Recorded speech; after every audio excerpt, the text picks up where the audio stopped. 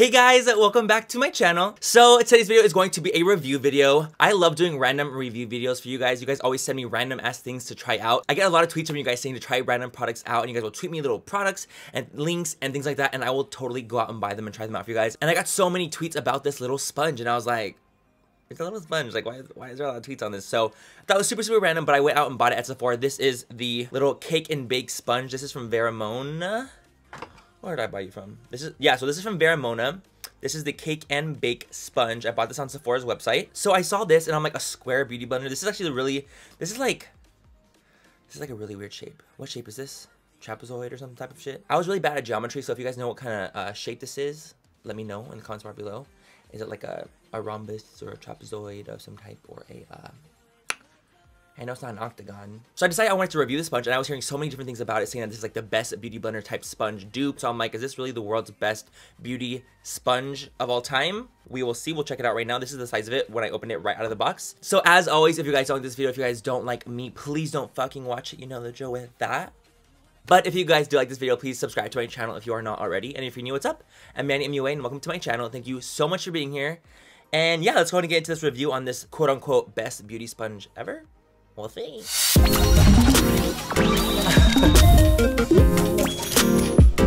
okay guys, so first things first, we're gonna go ahead and soak this in water. Actually, let's, let's see what it says. Maybe we don't even need to. How to use wet cake and bake with water until completely saturated, squeezing out excess liquid. Pick up liquid or powder makeup products with a top and bottom flat edge and apply to conceal and or bake. okay, well, I'm gonna go soak it. I'll be right back. So I went ahead and I soaked the bad bitch up and I squeezed out all the excess water and this is what it looks like now. It actually really did get so much. Why does this remind me of a fucking cock? Hmm, I don't know why. Definitely, definitely got a lot bigger. The holy shit got so much bigger. So what we're gonna do is we're gonna go ahead and try this bad bitch out and see if it works like a beauty blender or not, or if it's even better than a beauty blender. Who knows? No thing. So we're gonna do our normal routine though, guys. We are gonna do primer.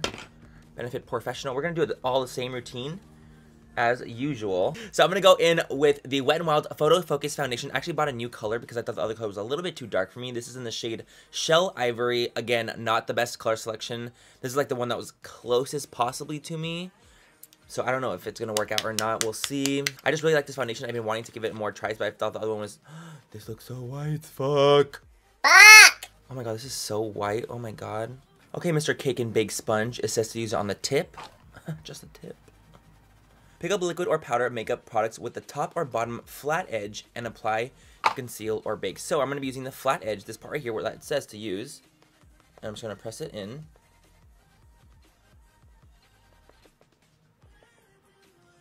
It's applying it really, really nicely, actually. Holy fuck. I'm sorry, but this can't be my color. I will not fucking allow it.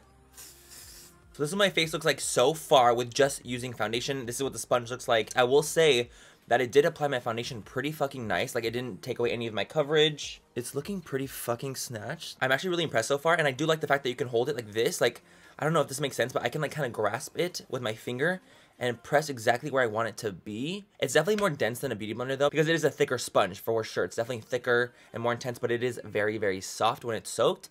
And I'm not mad at this whatsoever. Let's do some concealer. And I'm gonna use my classic Tarte Shape Tape.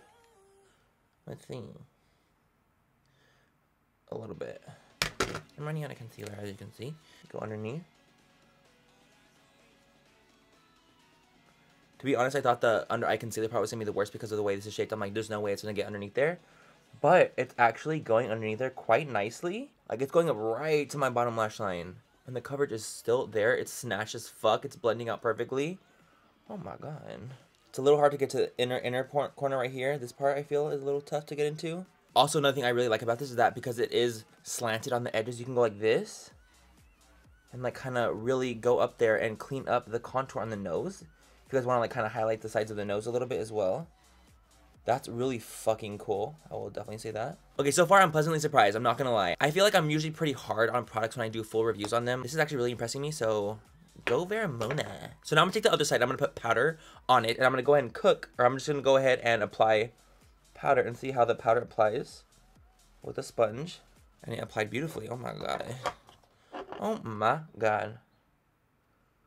It goes right up to the lash line, which means it goes right up to the wrinkles and creases, which is really, really nice.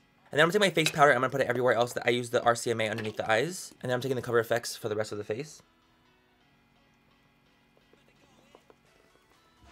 And this is my face completely set. And bitch, that shit is fucking set to the ground. I'm sorry. I can run out in the rain and be good. okay, guys, I'm gonna go finish the rest of my makeup and I'll be back soon to tell you guys what my final verdict is on this sponge. Okay guys, so I finished off my base off of camera really quickly and I just wanted to show you guys one more thing before I give you the final review of what I think about this. I want to show you guys how easy it is to bake with this. I mean, this is called the cake and bake for a, a good reason. Watch this. So my powder onto this. And I'm gonna go in with the side that I use the powder on and do my normal baking like I would do like underneath my chin and on my nose. Watch this.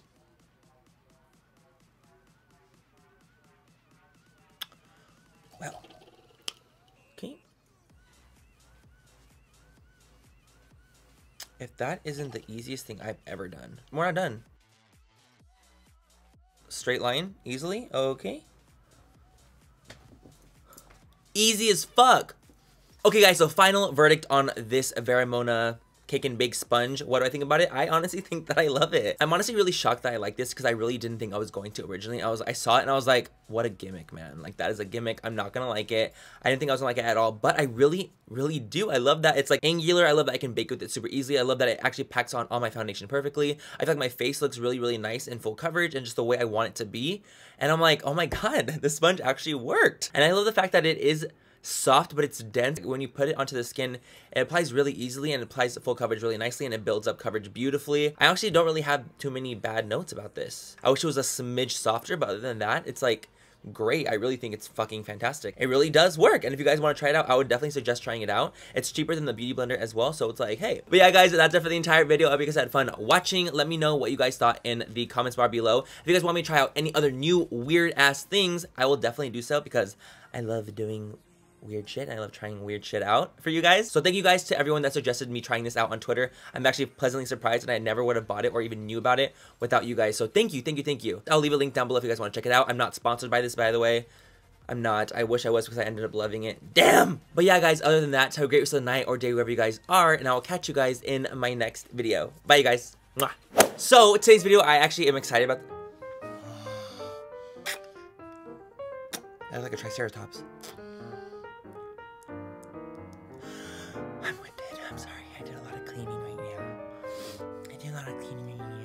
Pick up my toes. Fuck. Come on, monkey feet, work with me. Jane for beauty. It's very phallic looking, you know? I like I have a crack mouth.